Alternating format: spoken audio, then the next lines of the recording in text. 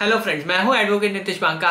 आप हैं मेरे YouTube channel leg speak legal में। आज मैं आपके सामने एक बहुत ही बेहतरीन वीडियो प्रस्तुत करने जा रहा हूँ, जिसमें मैं आपको ये बताने जा रहा हूँ कि अगर जो है वाइफ आपको धमकी देती है कि वो जो है सुसाइड कमिट कर लेगी, तब आपको क्या करना चाहिए? क्या क्या लीगल उपाय है? क्या क्या लीगल स्टेप्स है जो आपको ले लेने चाहिए, जो कि आगे आपको एक प्रॉब्लम से बचा लेंगे? देखिए, बहुत बड़ी प्रॉब्लम आ जाएगी अगर वाइफ जो है असली में कमिट कर लेती है सुसाइड तो आपके लिए बहुत ज़्यादा प्रॉब्लम हो सकती है।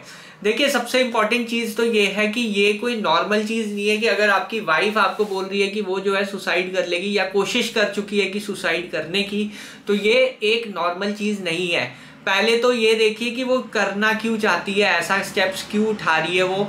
एक ये रीजन पता होना आपको बहुत ज़रूरी है। और यदि इसका रीजन डाउरी डिमांड है तब जो है, मैं आपको बिल्कुल लीगली सपोर्ट नहीं करूँगा और आपको जो है कड़ी से कड़ी सजा होनी चाहिए। अगर आप जो है डाउरी डिमांड करते हैं वाइफ से और वो जो है आप सुसाइड कर लेती है या सुसाइड करने का अटेम्प्ट करती है तो ये तो इलीगल चीज़ है।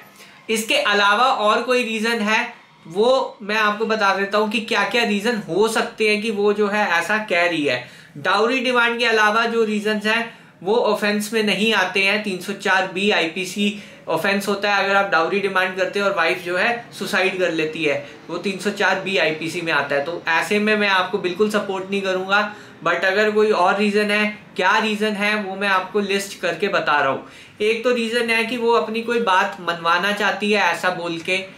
ये जो है, तभी आपको जो है सुसाइड का अटेम्प्ट का धमकी दे रही है।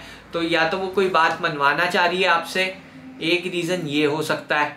या उसे कोई साइकोलॉजिकल दिक्कत है, उसे कोई बाइपोलर डिज़ीज़ है, या फिर कोई साइकोलॉजिकल डिज़ीज़ है, जिसकी वजह से जो है वो बार बार आपको ये कह रही है कि वो जो है सुसाइड अटेम्प्ट कर लेगी।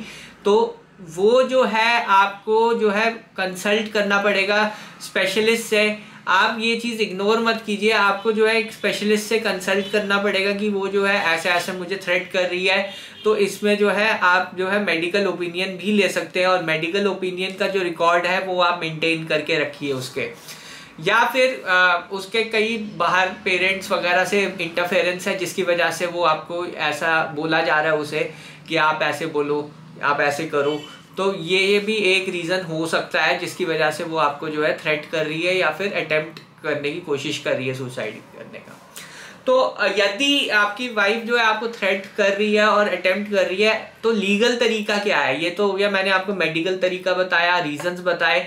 अब मैं आपको बताने वाला हूँ कि लीगल तरीका क्या है कि इससे जो है आप कैसे बच सकते हैं।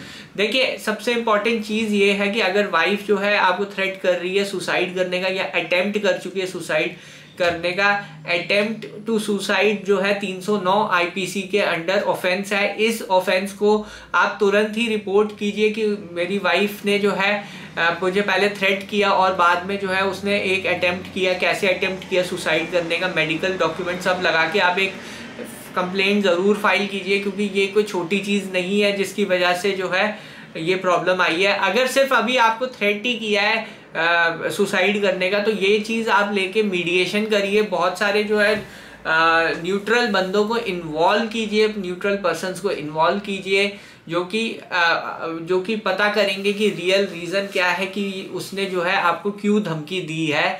तो ये जो चीज़ है, आप मीडिएशन में भी कर सकते हैं। दूसरी चीज़ आप ये करिए कि आप जो है एक जुडिशियल सेपरेशन का भी केस फ़ाइल कर सकते हैं।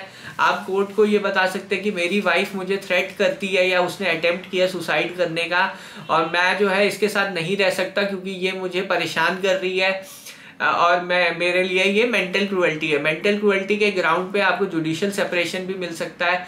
आप इवन डाइवोर्स के लिए भी अप्लाई कर सकते हैं। अगर डाइवोर्स का भी ये ग्राउंड है कि मेंटल क्रुअल्टी एक ग्राउंड होता है कि डाइवोर्स भी आपको जो है मिल सकता है इसी ग्राउंड पे।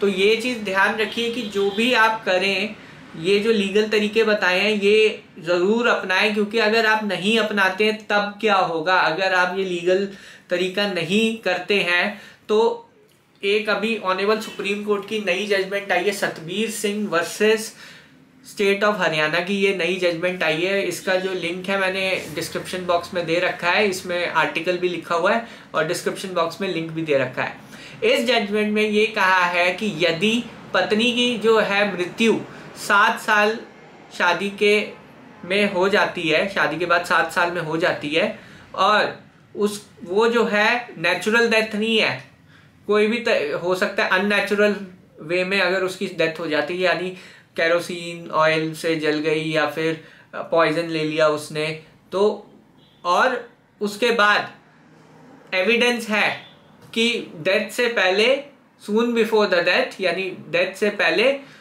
वो जो है एविडेंस है कि आपने जो है दहेज मांगा। तो वहाँ पे जो है 304 बी की जो है धारा आप पे लग जाती है और उसमें जो है 113 बी एविडेंस एक्ट में आपके खिलाफ जो है एक प्रिजम्पशन रेज कर देती है कोर्ट आपको अप्रूव करना पड़ेगा कि जो डेथ है वो डाउरी की वजह से नहीं है। यानी आपको अब ये सारा डिफेंस लेके आना पड़ेगा। तो मैं ये जो चीज़ें बता रहा था ना आपको कि क्या क्या आपको डिफेंस प्रिपेयर करना है, कैसे करना है, वो इसीलिए बता रहा था क्योंकि ये अब चीज़ें अब काम आएगी जब आपके ऊपर 304 बी लगेगा, अगर पत्नी जो है असली में सुसाइड कर लेती है। तो ये चीज़ को नजरअंदाज मत कीजिए और जो भी आपका इशू है वाइफ के साथ, उसे सॉल्व कीजिए उसे किसी फोरम में ले जाइए, काउंसलिंग करिए, वो सबसे बेहतर तरीका है। और यदि ये डाउरी की वजह से है तो आपको सज़ा हंड्रेड परसेंट मिलनी चाहिए, मेरा ये मानना है तो। तो अगर डाउरी की वजह से नहीं है, फिर आप जो है मैंने जो तरीके बताए आप वैसे कर सकते हैं। और दूसरी चीज़ ये है कि आर्टिकल एक मैंने लिखा हुआ है आर्टिकल आप पढ़िए, उसमें मैंने जो है जजमेंट का लिंक भी दिया हुआ है। जजमेंट को पढ़िए गाइडलाइंस है ऑनेबल सुप्रीम कोर्ट की रिसेंट और इसमें जो मैंने आपको बताया कि डिफेंस और ये सब चीज़ें मैंने आपको बताई हैं, वैसे आपको प्रिपेयर करना है।